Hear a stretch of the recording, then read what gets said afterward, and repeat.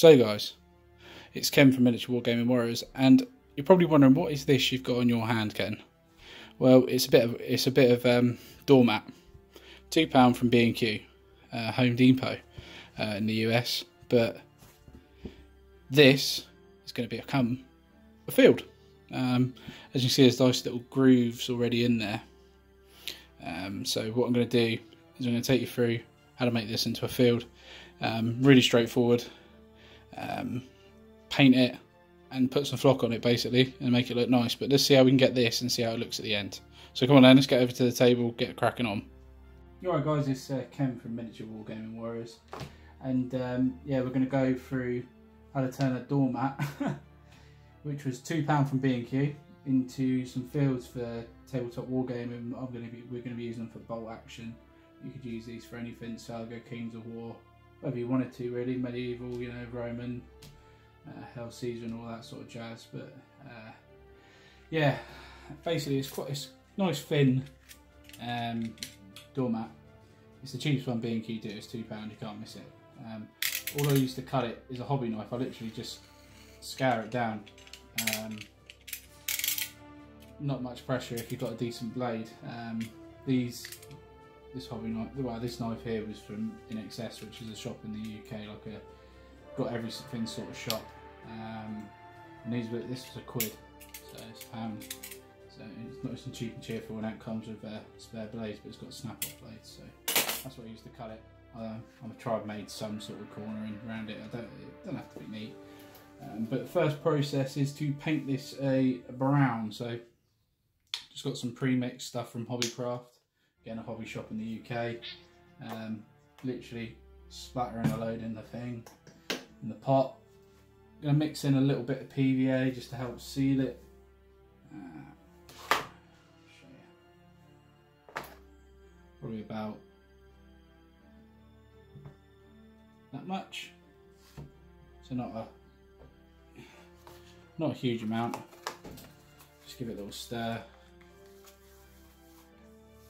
I'm not bothering to watering it down. And I'm literally just getting a brush.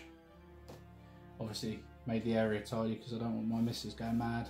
And just uh, yeah, just giving it a, just giving it a paint. Nice and straightforward.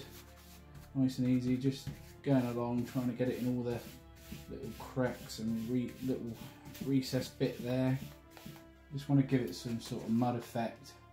Just want to get rid of this, uh, there's like a white sort of sheen coming through. Um, I just want it to be solid, like brownish, dark brown.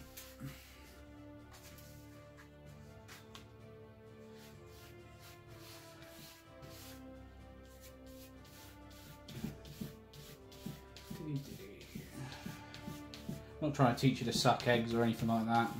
This is just a guide to help new people into the hobby that are getting curious about doing terrain making. Um, you can see I'm not using a fancy brush, I'm just using a really cheap cheap brush and just literally want to get it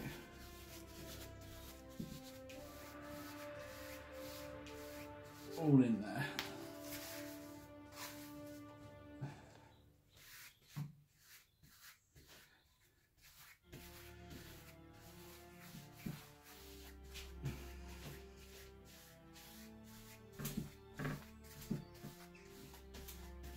Make sure to get the edges.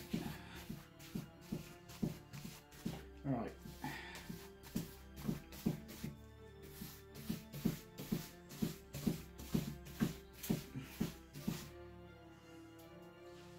Okay, I'm nearly happy with this.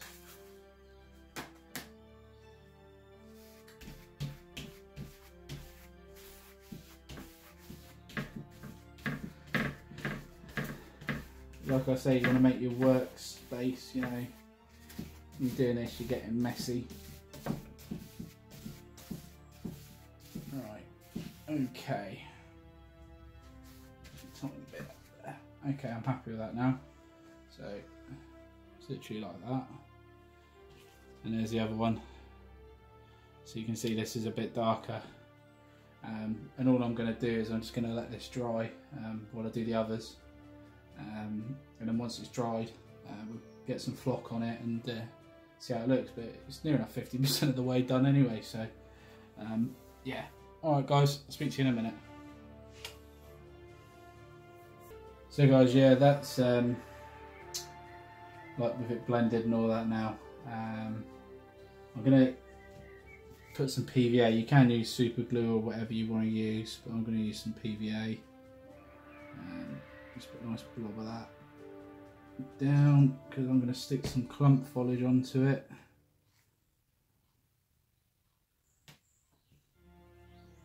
That can go there. What I tend to do so it doesn't look out of place, it looks natural.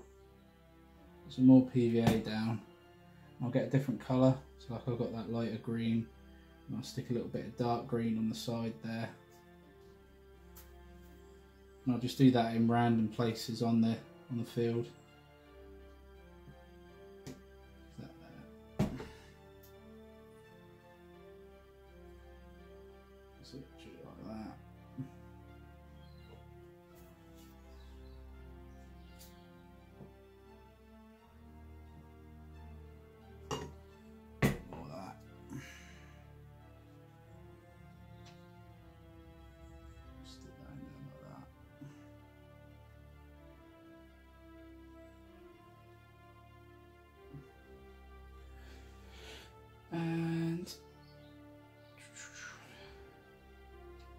the clump I'm using is uh, you got the Jarvis stuff, which is the light green. You got Woodland Scenics. My favourite clump is the stuff that Luke's APS does.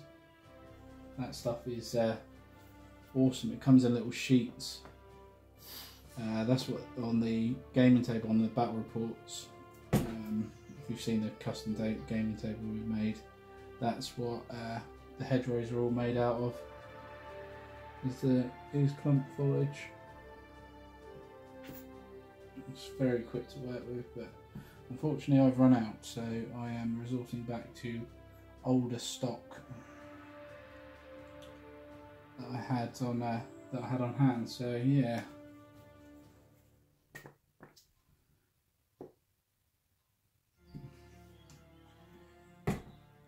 You know, it's not going thick and thick with the PVA because I'm going to seal this with PVA after as well so that'll be the last step literally when we're finished in a second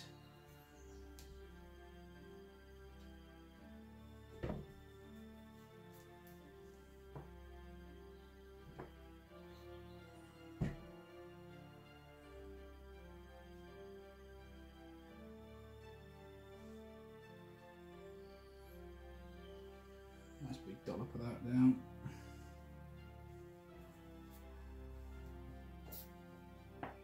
It's up to you, you don't have to stick the clump on if you don't really want to. I just like to because it adds a bit more to the uh, aesthetics.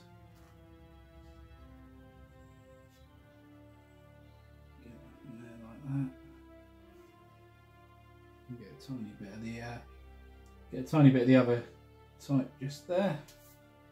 Okay and that is done so that's what that looks like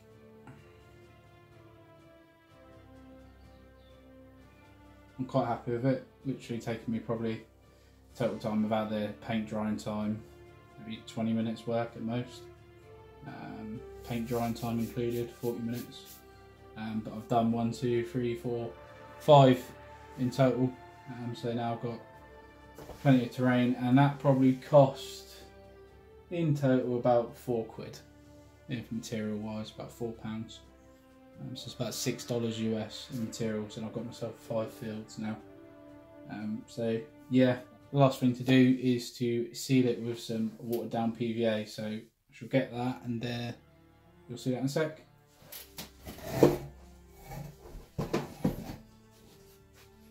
Right guys, last thing I'm going to do is just going to seal this down with some watered down PVA, especially around the bushes,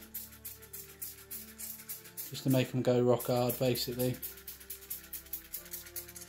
Just seals the whole thing. Um, literally, can't put enough on. Just make it nice and sodden. Yep, so that's that. Don't worry about all the bubbles forming there. That will dry, so it won't be a drama. Um, but yeah, so that's that is literally the fields done. You know, a couple of quid, um, four quid for like five fields. Perfect. Anyone can do it. Straightforward. Well, just watching, guys. I hope you enjoyed this tutorial. Um, I'm going to do more in the future.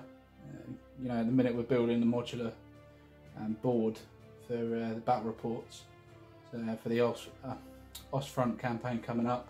So yeah, you'll be seeing a lot more of this sort of stuff on the channel as well. So if you like it, let me know in the comments below. Um, and don't forget to subscribe and ring the bell to get um, information when these videos are going live. Cheers!